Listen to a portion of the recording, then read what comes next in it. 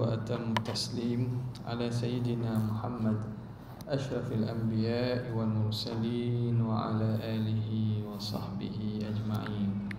سبحانك لا علم لنا إلا ما علمتنا إنك أنت العليم الحكيم.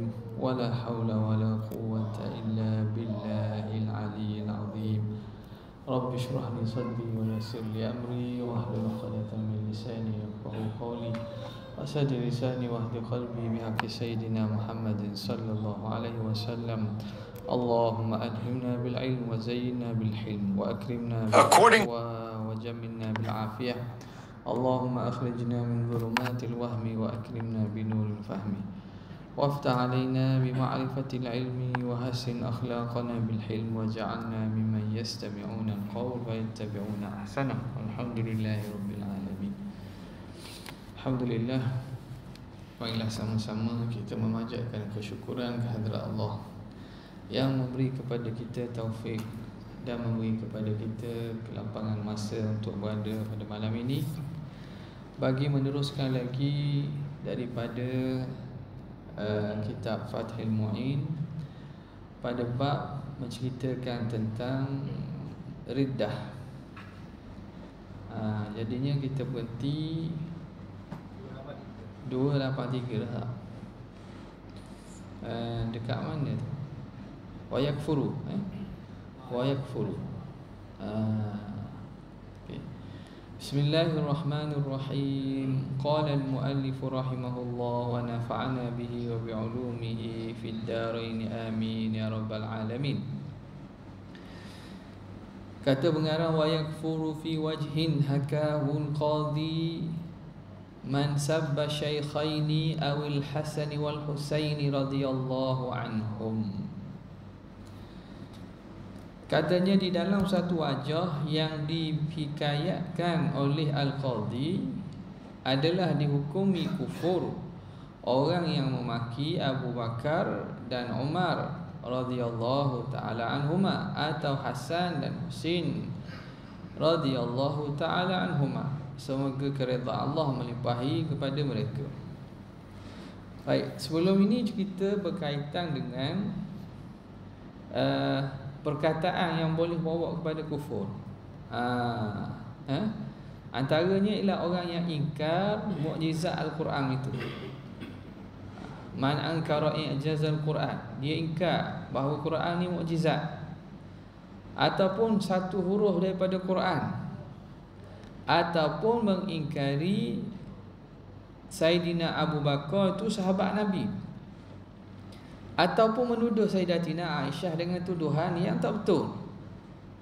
Maka sambungan laginya wa yakfuru fi wajhin dan jadi kufur pada satu wajah yang dihikayatkan oleh qadhi jadi bila sebut al-qadhi yang dimaksudkan di sini ialah qadhi Husain ha, eh? Jadi salah seorang ulama Syafi'iyah bila sebut Al-Qadhi Qadhi Husain dia sebut dalam riwayat yang dinukilkan oleh Qadhi Husain man sabba syaikhaini orang yang mencela dan mengutuk syaikhaini syaikhaini yang dimaksudkan ialah uh, im, uh, siapa nama ni? Abu Bakar dan juga Umar ah uh, man sabba syaikhaini iaitu Abu Bakar dan Umar. Yang masuk ini Abu dan Umar lah. Kerana dia melibatkan celaan kepada sahabat. Adapun selain daripada sahabat ini uh, dosa tapi tidak bawa kepada kufur. Ha, eh? Cuma bila cela sahabat ini dia bawa kepada kufur. Sebab sahabat ini diakui suhbah keadaan mereka itu sahabat itu sabit dalam Al-Quran dan ini sabit secara mutawatirah apabila mencela orang yang mana diiktiraf oleh Allah dan juga oleh Nabi ah, ini membawa kepada rosaknya iman seseorang ha, jadi syaikhan di sini bila kalangan sahabat merujuk kepada Abu Bakar dan Umar bila di kalangan uh, ahli hadis Syaikha ini merujuk kepada Bukhari dan Muslim. Kalau di kalangan ulama Syafi'iyah, Syaikha ini di di di di dan merujuk kepada Imam Nawawi serta Imam Rafi'i. Ha, eh? di kalangan ulama-ulama mutaqaddimin yang maknanya pada zaman sebelum mutaakhirin. Ha, kalau mutaakhirin sebut kitab-kitab mutaakhirin hasyiah ataupun kitab yang membahaskan tentang pandangan ulama mutaakhirin, syaikhain ini merujuk kepada Syekh Ibnu Hajar Al-Haitami dan juga Syekh Ramli Syekh Muhammad Ramli. Okey, jadi siapa yang mencela Syaikha ini? Abu Bakar dan juga Umar Awil Hasani wal Husain serta cucu Nabi ni Hasan Husain ni. Radhiyallahu taala anhum. Moga Allah taala meridai mereka termasuk boleh membawa kepada kufur. Ah eh? Boleh membawa kepada kufur Ha, jadi ini satu riwayat lah Satu riwayat yang dinukilkan daripada uh, Qadi Hussein ha. La man qala liman arada tahlifahu La uridul halfa billahi bal bittalaq Mathalan. Au qala ru'yati iyaka ka ru'yati malakil maut. Adalah tidak kufur Orang yang mengatakan kepada orang yang ingin diambil sumpahnya saya tidak ingin engkau bersumpah dengan Allah.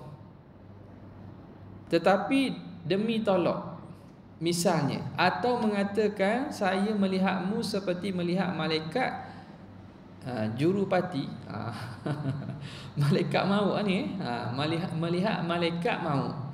Uh, Jadi Masalah lain pula ni. Yang ni dia kata La uh, Maknanya tidak jadi kufur Man qala liman arada tahlifahu orang yang berkata bagi orang yang dia ingin suruh sumpah. Ah man arada tahlifahu dia nak orang tu sumpah. Ha okey. Dia nak orang itu sumpah. Ha okey. Jadi nak orang tu sumpah dia kata La uridul halfa billah. Aku tak mahu sumpah dengan demi Allah. Bal bitalak. Mu kena sumpah dengan bitalak. Ha, ini ada yang berlaku di setengah negara Arab ni. Ha? Mereka sumpah dengan bitalak. Kat kita tak buat gitu. Ha, tak, tak buat gitu. Kat Arab ni, dia sumpah. Sumpah makna wallahi lah. Sumpah wallahi tu. Dia sumpah dengan wallahi. Bitalak. Mu kena mari mu aku makan tengah hari ni demi Allah. Ha, kita demi Allah tu tak bitolak.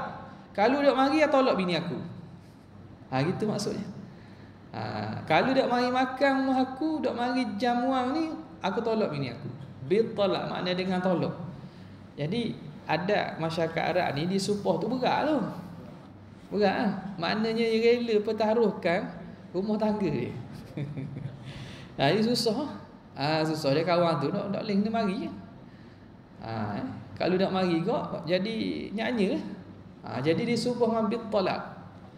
Ha, Maka benda itu dia dia jadi dia jadi macam lebih berat dengan sumpah dengan wallahi. Wa wallahi orang ni sumpah wallahi ni biasa sangat. Wallahi wallahi.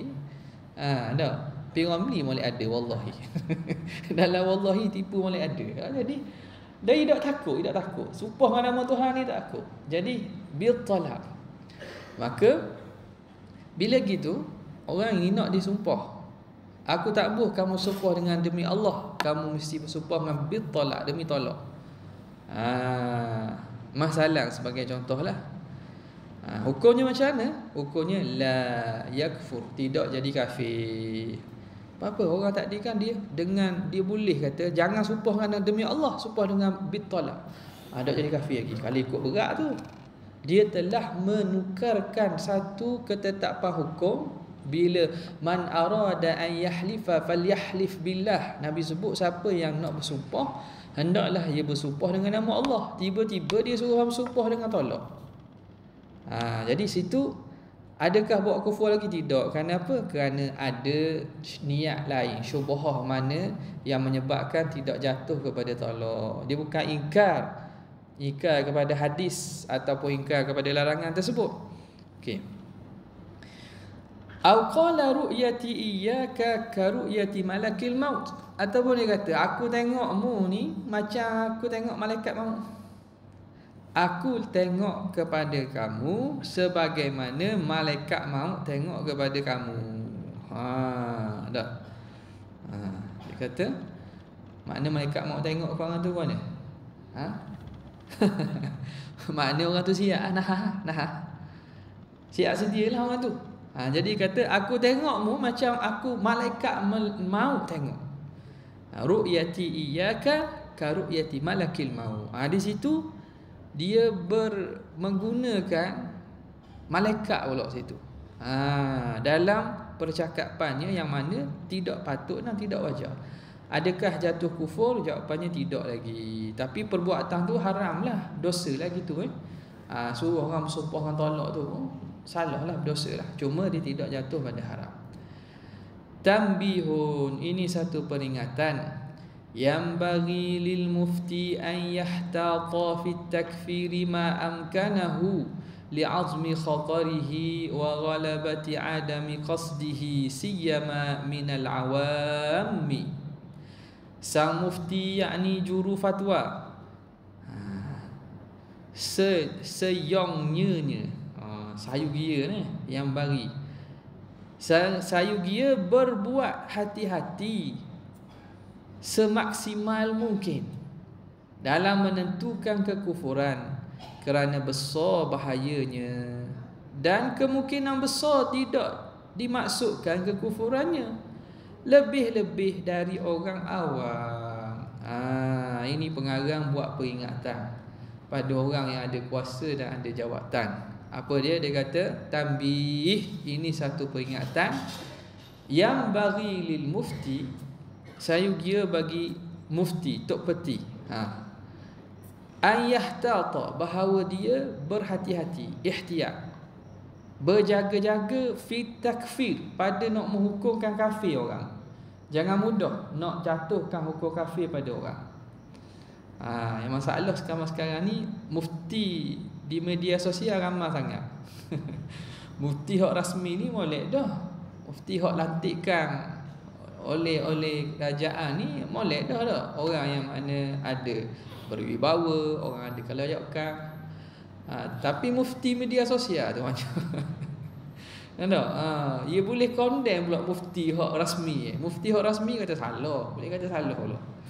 Ha, dan yang sedih sikitnya, ada uh, apa ni ahli fatwa dan jabat mufti ni sama konden sama-sama dia. Uh, sebab dia duduk jauh sikit. Uh, dia, dia lain sikit, fatwa dia lain sikit. Negeri dia uh, peraturan dia lain sikit. Dia konden fatwa orang lain. Uh, masalah ni jadi benda ni padahal kedudukan ahli fatwa dan juga apa ni mufti siap negeri tu uh, dengan dengan dengan kelayakannya makna wajarlah tak condemn. Kalau kita benda yang ada keluasan makna boleh berlaku gini boleh berlaku gini. Negeri dia nak ambil pandangan lain ha, ikut dia lah. Negeri negeri negeri dia kan tak ikut dia. Negeri kita atau negeri orang lain nak ambil pandangan lain dah ikut pandangan dia tiba-tiba pergi condemn negeri yang sama dengan dia ha, jadi tak apa ha, tak bijak sikit lah tindakan itu ha, sebelum orang ha, kalau nak ikutnya banyak lagi orang boleh condemn tetapi tindakan tersebut tindakan yang tidak wajar. Ha, ni apa yang dibuat oleh netizen netizen ni condemn mufti pula. Tok mufti tak pandai, tok mufti benda lah gini. Ha, tak. Ha, jadi benda ini menyebabkan sebenarnya jadi rakyat menjadi kurang ajar. Kurang ajar dengan sistem dan juga kurang ajar dengan orang-orang yang uh, orang-orang yang mana diberi tugas untuk menjaga hal ehwal uh, umat Islam. Baik. Ha, jadi di sini uh, kata pengarang wajar bagi mufti berhati-hati fit takfir. Pada mengkufurkan orang nak jatuh hukum kufur tu ma'am kanahu semampu boleh. Semampu boleh kena hati-hati.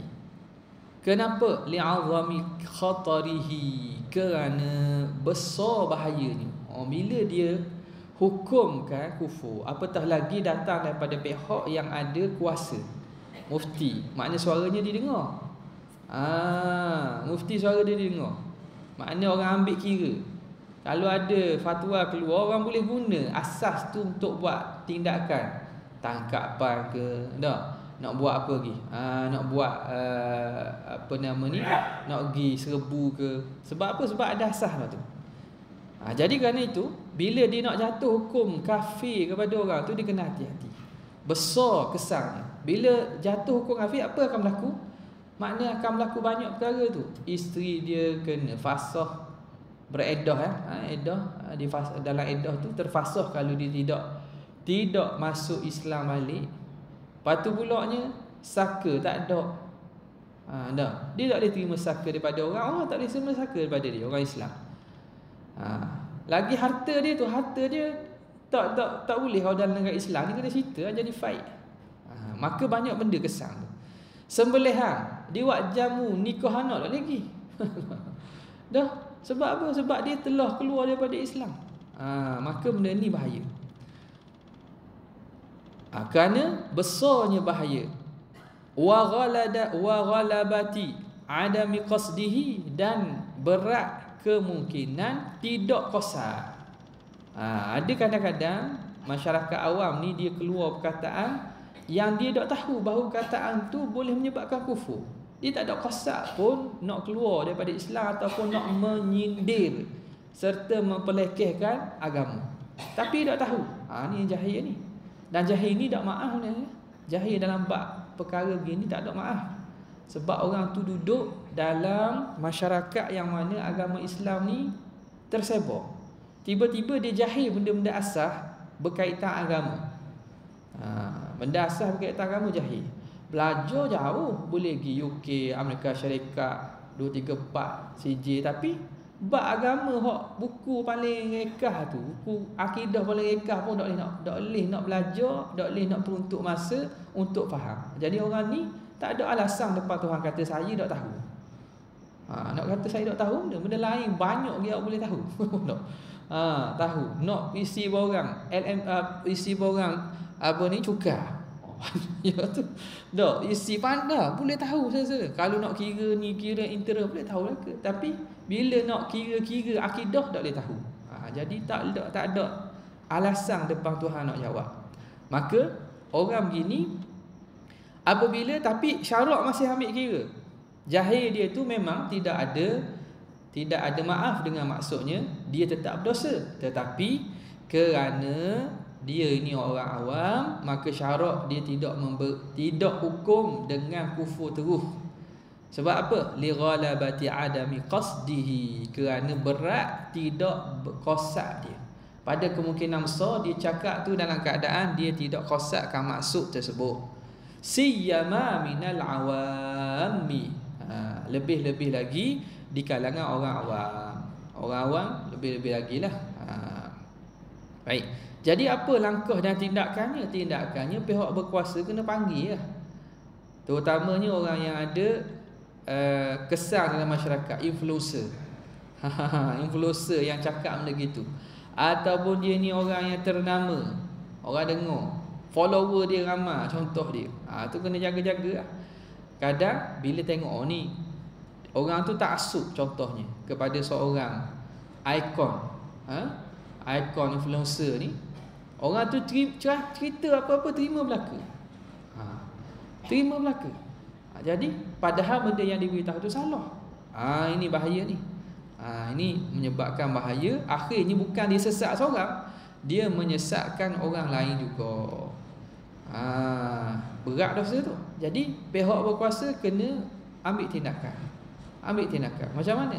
Ha, macam, macam ikutlah kalau pihak yang ada hukum ni dia buat keluar fatwa lah. Fatwa ajaran begiang begiang sesat contohnya. Ha, macam kat tempat kita pun ada kan? Ha, sesat. Sebab apa sesat? Sebab begiang maka masyarakat awam dikehendaki jangan ikut lagi si fulan si fulan. Ha, jadi orang yang patutnya faham patut jangan ikut lah. Oh ikut juga nah dia jenis ikut juga.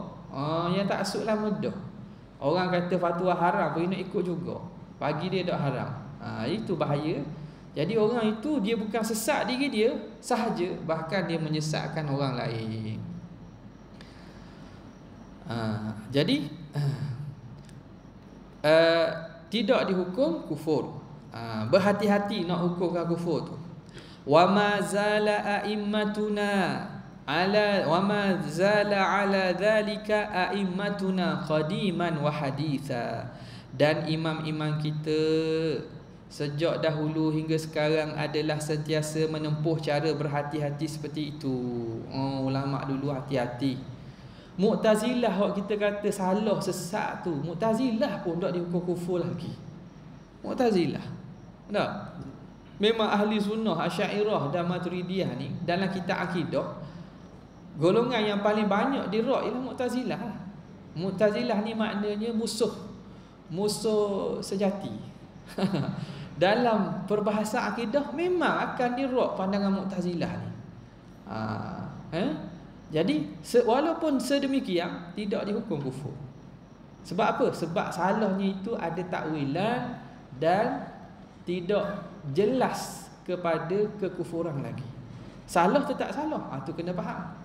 Ha, sama juga contohnya kita kata golongan mujassimah yang mengatakan Tuhan berjisim ni kan. Tak. Ulama pun mengatakan pandangan muktamad di sisi Asy'ariyah mujassimah ni yang ghairu sarih yang tidak jelas. Ha tidak jelas. Dia kata Tuhan tu bertepat. Tuhan tu ada tangan tapi tak sama tangan manusia. Ha, ada tepat tapi tak sama tepat manusia. Apa lagi? Ada muka, ada tangan, ada ada lambung, ada jari, ada kaki. Ha, macam-macam. Ha, tapi tak sama dengan makhluk ni, dia hak layak dengan dia. Dengan makna dia faham anggota Tapi dia tidak soreh. Tidak soreh. Makna tak soreh tu maksudnya dia tidak sebut se, Secara jelas. Ha, Bila Bila orang tanya dia kona. Ini cara dia bila tanya kona kat lain Kona kat lain.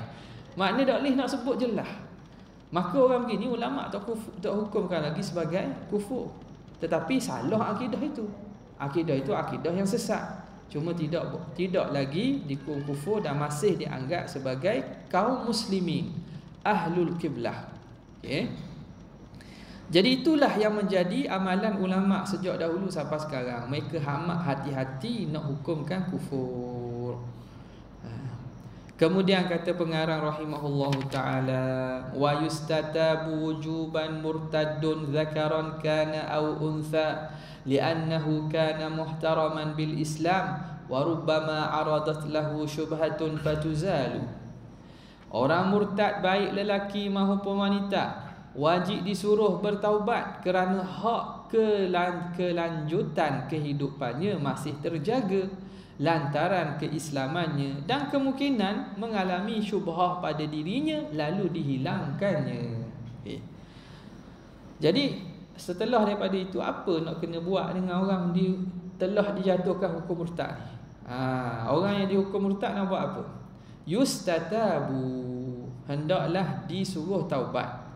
Wujuban wajib tu. Ha, orang murtad pihak penguasa wajib suruh dia taubat murtadun orang murtad zakaran kana au sama ada lelaki atau puan sama je. Kenapa? Ha, li'annahu kana muhtaraman. Jadi tak boleh bunuh lagi tak boleh bunuh lagi. Hukum bunuh tak boleh sehinggalah disuruh taubat dulu.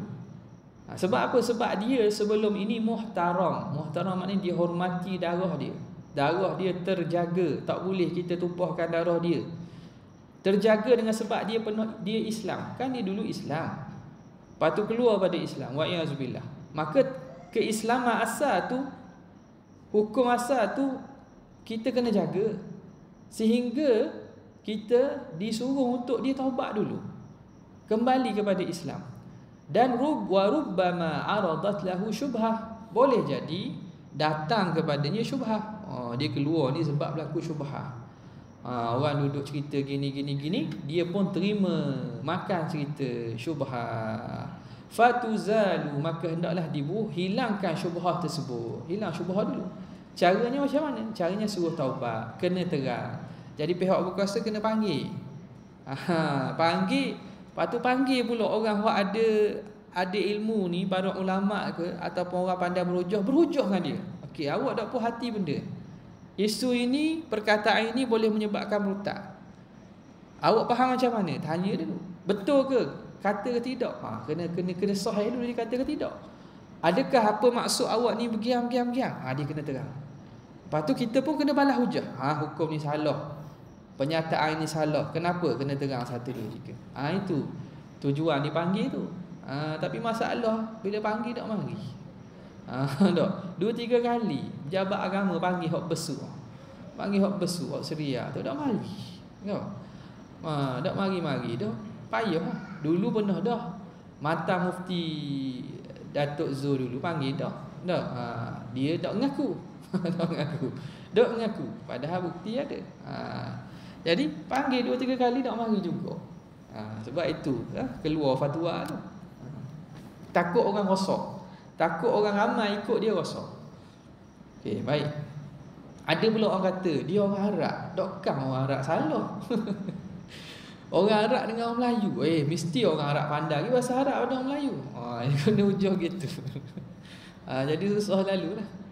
Ha, dia Arab ni kalau nak kira Arab. Abu Jahal Arab. Abu Jahal. Abu Jahal, Abu Abu Abu Lahab. Uh, uh, uh, tu Arab. Tak. Ah. Eh, Umayyah bin Khalah. Eh, Arab lah ke tu Arab? Pandai pada Arab learning ni. Ha, jadi bukan isu Arab dan Arab ni. Ha, eh? Baik. Ha, jadi benda ini suruh taubat dulu. Ha, kenapa? Kerana dia asal Islam dan boleh jadi ada syubhah maka hendaklah dihilangkan syubhah tu ha, macam kita pernah cerita dulu ah ha, kita cerita kat sini kat lain kok macam mana Abdullah ibnu Abbas apabila berlaku uh, apa sebelum berlaku perang antara puak Sayyidina Ali dengan Khawarij. Ada ha, antaranya peperangan Nahrawan uh, dengan Khawarij. Ha, dengan khawarij maka apabila mereka sebelum perang tu Abdullah bin Abbas minta izin kepada khalifah Sayyidina Ali untuk dia pergi berjumpa dengan golongan khawarij ni tujuannya agar tak berlaku perang sebab sama-sama mengaku Islam Sayyidina Ali memanglah dialah khalifah yang layak yang dilantik dengan bai'ah yang sah yang syar'i Khawarij ni tak puas hati. Sebab apa? Ha, asal-asal isu politik je. Sebab itu ke sesatan akidah ni kalau tengok sejarah umat Islam berlaku khawarij, berlaku syiah, tak, berlakunya murjiah ni. Asalnya ialah dari, dari kerana pahaman politik. Tapi boleh bawa akhirnya kepada akidah. Asalnya khawarij ni tak puas hati dengan keputusan yang diambil oleh Sayyidina Ali. Sayyidina Ali setuju untuk berunding dengan musuh dia. Ha, tahkim, peristiwa tahkim. Dia nak suruh hukum kepada manusia. Jadi mereka tak puas hati. Dia kata hukum tak suruh ke manusia. Hukum suruh ke Tuhan. Tengok pada Al-Quran dan Sunnah. Ha, betul dia. Betul dia segi zahir. Maknanya betul lah tu. Memang kita kena kembali pada Quran dan Sunnah. Tak boleh kembali kepada orang. Ha, jadi dia tak puas hati. Jadi kerana itu dia pun keluar daripada mentaati imam dan pemerintah. Ha, jadi peranglah. Dah ada kuasa pula mereka pun ramai. Maka nak perang dengan Sayyidina Ali. Ha, asal politik. Ha, tapi akhirnya bawa kepada pahaman akidah. Jadi golongan khawarij ni Sayyidina Ali radhiyallahu taala anhu didatangi oleh Abdullah bin Abbas Abdullah bin Abbas cakap kepada Sayyidina Ali wahai Amirul Mukminin tunggu sekejap bagi masa jangan semayang zuhur lagi abridu bizuhur lewat sikit semayang zuhur kerana aku nak pergi berjumpa dengan mereka makna mayang zuhur ni kalau waktunya tengah hari lepas gelincir masuk dah kata lewat sikit tunggu semayang tunggu aku nak semayang sekali ni. Kerana aku nak jumpa dengan golongan mereka. Mula mula uh, moga-moga Allah Taala beri hidayah pada mereka. Jadi saya nak Abdullah bin Abbas pakai pakai pakai yang yang sebaik-baiknya. Saya Ali risau dah kata eh jangan pergi. Mereka ni boleh jadi mereka ni akan buat khianat pada kamu. Kata jangan risau. Tak apa. Mereka tak meniru apa. Kerana aku ni sepupu Nabi Ah, aku ni tak ada tak ada masalah dengan mereka semua nabi. Jadi dipakar pakai yang cantik semua pergi. Pergi kepada golongan Khawarij. Jadi kata Abdullah bin Abbas, aku tak pernah tengok orang yang begitu bersungguh ibadat sehingga kan dahi mereka ni kesak, kesal tuju. Dan tangan dan lutut-lutut mereka ni macam lutut uta. Uta tahu dah, uta kan kerana sebab dia turun naik pandang pasir ia kasar lah kasar besar. Kerana mereka ni semayang sungguhnya semayang. Ha, jadi aku tak pernah tengok orang yang kuat ibadat lebih pada mereka. Dan mereka ni kurok. Kurok. Orang orang mengaji Quran orang hafal Quran. Sebahagian mereka tu orang hafal Quran. Ha, yang ni yang Nabi sebut ni Nabi sebut yaqra'una al-Quran wala yujawizu hanajirahum akan datang sekumpulan yang baca Quran. Baca bukan macam kita baca lekat-lekat. baca ni makna apa Quran. Ah, orang yang yang ahli Quran, tetapi Quran tu tak masuk, tak lepas daripada halqum, sekadar di mulut dan masuk dalam hati. Ah, jadi mereka ni buat ibadat kuat, jaga malam dan terlihat kesan tahajud Ha, orang letih kan? Mereka mereka datang kepada mereka waktu qailulah, waktu tengah hari. Dalam keadaan mereka tu kesang ibadat, bangun tengah malam, berpuasa siang hari, kesang ibadat sujudnya semua. Lalu dapat Abdullah bin Abbas mereka bersambut. Ahlan wa sahlan. Bibi bin Ammi Rasulillah. Selamat datang kepada sepupu Nabi, anak pak saudara Nabi. Selamat datang.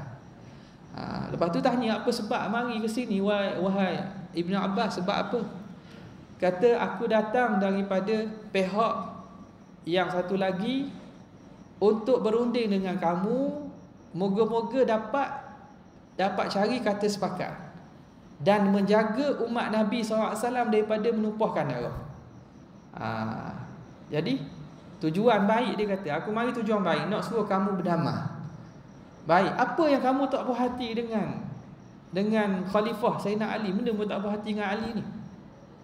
Dia kata kami tak puas hati tiga perkara. Tiga perkara. Ha, apa dia? Pertamanya ialah Sayyidina Ali tidak menghukum dengan hukum Allah. Dia hukum dengan hukum manusia. Ha, bila tu? Apabila dia bertempuk bertemu dengan golongan Muawiyah dia kembalikan hukum kepada wakilnya. Dia tidak kembalikan hukum pada Allah. Dia atas wakil maknanya dia serah. Tahkim ni makna serah hukum kepada orang untuk selesaikan. Maknanya dia telah menolak hukum Tuhan kepada hukum hamba hukum makhluk. Ha mudah dia kata dah. Makna orang ni tolak hukum Tuhan ni. Saya nak Ali tolak hukum Tuhan ha suruh orang pula berhukum Baik.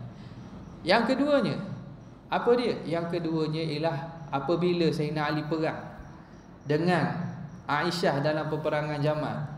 Dia salah. Dia kalah.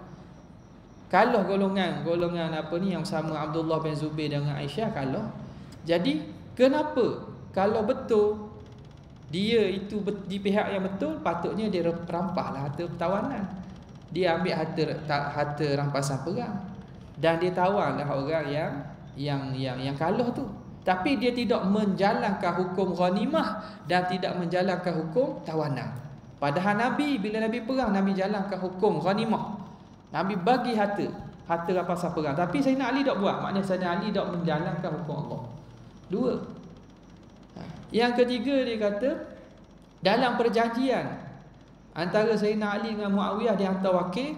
Maka wakil Sayyidina Ali Abu Musa Asy'ari bila berunding dengan uh, Amr bin As maka mereka pun bila nak tulis perjanjian dah. Mula ditulis perjanjian inilah apa yang di, di dibuat perjanjian oleh Amirul Mukminin Ali bin Abi Talib oleh Amirul Mukminin ketua orang mukmin Tiba-tiba pihak Muawiyah tak setuju. Buang. Buang Amirul Mukminin. Kalau kami mengaku Amirul Mukminin kami tak akan perang. Jadi tak mau tak mau. Dalam janji yang ni jangan letak nama Amirul Mukminin pangkat jangan. Tak nama je. Ini apa yang dipersetujui oleh Ali bin Abi Talib. dengan Muawiyah bin Abi Sufyan. Jangan tulis nama, jangan tulis pangkat Amirul Mukminin. Jadi dia pun padang Amirul Mukminin. Maka dia kata, kalau dia kata diri dia bukan Amirul Mukminin, maknanya dia Amirul Kafirin. Bila dia padang diri dia sebagai Amirul Mukminin, pemimpin orang beriman, maknanya pemimpin orang kafir. Jadi dia pun lawan Sayyidina Ali dengan sebab tu. Dia kata tak apalah Wahai Abdullah bin Abbas Tiga ni dulu Tiga ni dulu Maka aa, Apabila Abdullah bin Abbas kata Okey ada lagi tak? Tak ada. Cukup dah tiga ni dulu Baik. Hendak tak aku beri kepada kamu dalil Daripada Al-Quran Dan juga daripada hadis Yang da, yang jap, dapat jawab Soalan kamu ni Dan kamu akan terima tak? Dia kata kami akan terima lah kami akan terima. Kalau kamu boleh buat data nalih dan kamu boleh jawab apa kekeliruan kami ni daripada Quran daripada hadis kami akan terima maka kata Abdullah bin Abbas ada pun yang pertama. Kamu kata Sayyidina Ali menyerahkan hukum kepada manusia tidak kepada Allah. Dalam Al-Quran Allah sendiri menyerahkan hukum kepada manusia.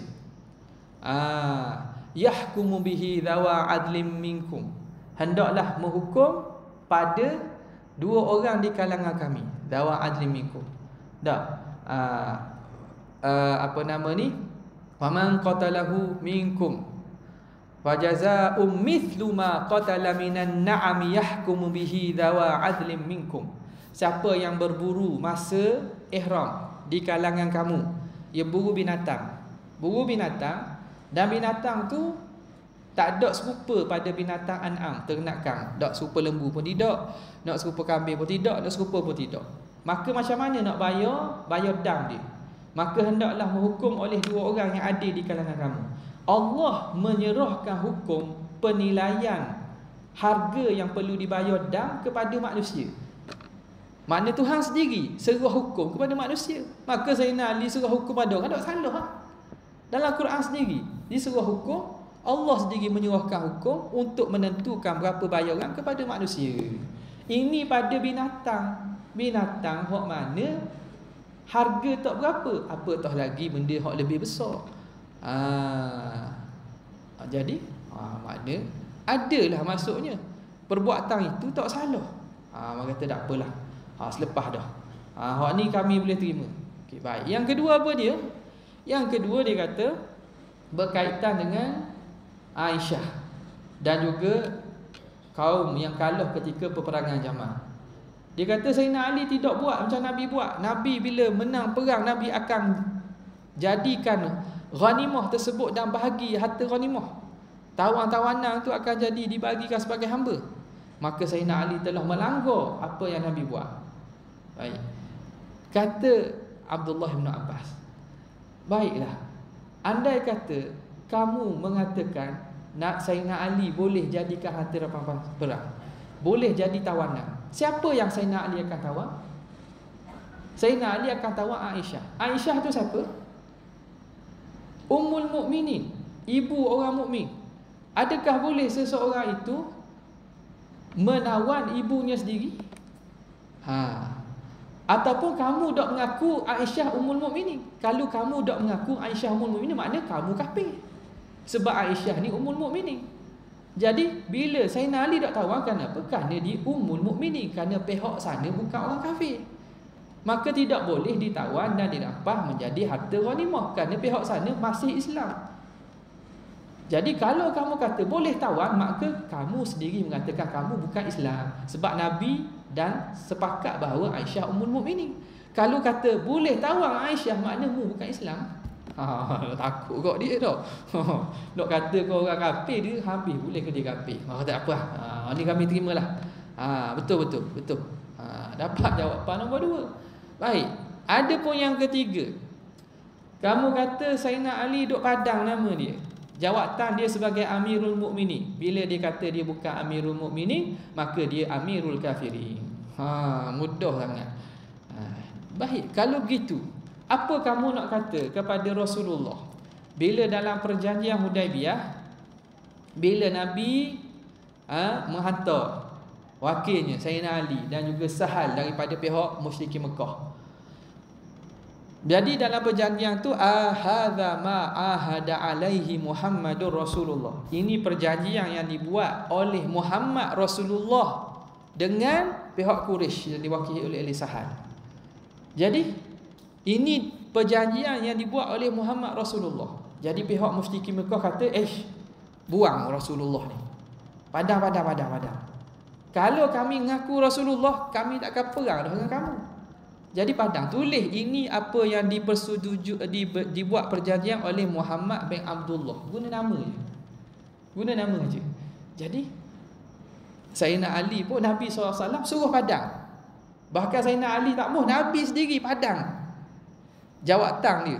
Maka Rasulullah telah memadamkan jawatannya daripada Rasulullah. Maka adakah kamu nak kata Rasulullah bukan Rasulullah?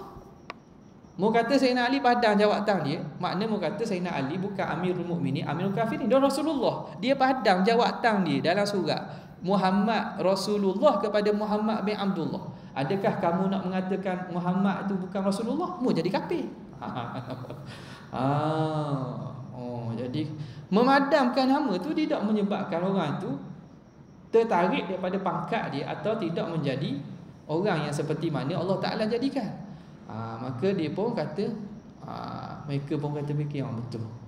Akhirnya Satu per tiga Daripada golongan Khawarij ini Keluar Dan berundur daripada Perang Masih ada Tapi orang kepala ada tak mau ha, Ya amal-amal ni Pak jenis tak dengar kata memang ada Tapi Sayyidina Abdullah Ibn Abbas Telah berjaya mengeluarkan sebahagian besar daripada golongan khawarij daripada terlibat perang jadi kembali insah dan bertaubat. Apa? Jadi prinsip ataupun cara menghilangkan syubhah ni memang kena ada. Ha, kena ada. Syaratnya pihak satu lagi tu kena setuju untuk berunding, setuju untuk dengar hujah. Kalau tak setuju untuk dengar hujah sampai bila-bila maknanya akan menyebabkan berlaku pertelingkahan yang tidak berkesudahan. Baik. Kat mana tadi dia kata uh, yustatabu. Ah hendaklah disuruh taubat. Kemudian kata sekarang summa illam yatub ba'da listitabati qutila ay qatalahu al-hakimu walau binaibihi bidarbi raqabati la bighairihi bila imhalin ay takunu listitabatu wal qatlu halan li khabari al-bukhari man baddala dinahu faqtuluhu Kemudian jika tidak mahu berubat Bertaubat Tidak mahu bertaubat Maka sang hakim Walaupun wali hakim Wakil hakim Wajib membunuhnya Dengan memenggal kepalanya Bukan dengan cara lain. Dengan tanpa diberi kesempatan waktu lagi. Maksudnya perintah taubat itu Dan pembunuhan itu Seketika Segeralah. Sebagaimana berdasar hadis riwayat Bukhari barang siapa yang menggantikan agamanya maka bunuhlah oleh kalian. Ha, jadi yang pertama ialah kena panggil dulu dan suruh taubat dulu. Ha, suruh taubat. Ataupun berhujah dulu. Berhujah kan? Hilangkan dia punya syubhah. Lepas tu suruh taubat. Kemudian dia tak bertaubat juga. Beri ha, dalam dalam suatu pandangan ulama dia memberi tempoh. Tempoh tangguh tiga hari. Ah, eh, tempoh tangguh tiga hari. Itu yang kebanyakannya lah. Beri tempoh tangguh tiga hari. Ada lagi yang mengatakan lebih. Ah, ah, jadi, bila enggan juga bertaubat, summa illam yatub ba'da listitabati kutila. Maka dihukum bunuh lah. Ay qatalahul hakim. Siapa yang berhak bunuh ni? Hakim pemerintah. Bukan orang ramai. Ah, tak, tak boleh nak orang ramai. Orang kampung, pakat-pakat tak boleh. Ia kena pihak yang berkuasa. Ha. Walau bina ibihi walaupun dengan wakil dia. Ha, ketua kerajaan tak mampu contohnya dia beri hukum kepada mahkamah contohnya ataupun pada penjara. Ha, eh, maka boleh bidarbir raqabah dengan cara penggal kepala. Ha, la bi ghairihi tidak dengan cara lain kerana apa? Kerana cara penggal kepala ni ialah cara yang pada pada pada apa nama ni uh, insaniahnya paling senang untuk untuk keluar nyawa dan kurang sakit. Ah, kurang sakit berbanding hak lain lah. Kalau gantung sakit dah. Benda ke. Ah, masuk gas ke masuk tu ke sakit. Ah, jadi ini cara yang yang mudah untuk tidak menyeksa. Sebab Nabi SAW sebut fa idza qataltum fa ahsinul qitlah. Bila kamu bunuh maka hendaklah bunuh dengan elok bukan dengan cara menyakitkan. Bila imhal tanpa boleh tangguh dah sebab apa? Sebab suruh taubat dah. Ai takunu listitabatu wal qatlu halan. Jadilah suruh taubat dan juga bunuh itu segera. Li khabaril Bukhari berdasarkan hadis Bukhari, man baddala dinahu faqtuluh. Ha, siapa yang menukar agamanya maka hendaklah dibunuh. Kemudian kata pengarang, fa idza aslama sahha islamu wallahu taala a'la wa a'lam.